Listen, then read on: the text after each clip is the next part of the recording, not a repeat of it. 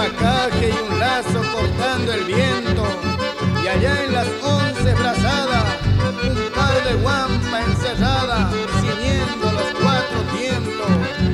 Luego el tirón del paisano, sopesando a su rival, es como una taza de hierba que se vuelca sobre la tierra